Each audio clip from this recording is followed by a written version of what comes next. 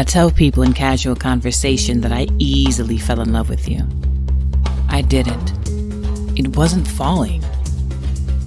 It was smooth stone, cool side of the pillow, vociferous laughter with a hint of frankincense and myrrh.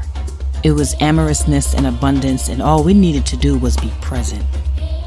I didn't fall in love with you. It was a velvety ride to soft kisses, conversations about everything, and doing nasty things in unmentionable places. It was floating tranquility to unified grounding, gold disclosure, and bickering about the best eatery on 14th Street. It was us. It was us doing the most natural and easiest thing to do love.